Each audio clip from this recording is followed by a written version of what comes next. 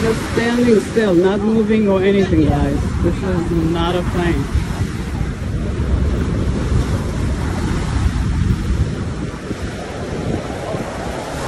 Whatever it is is communicating with us.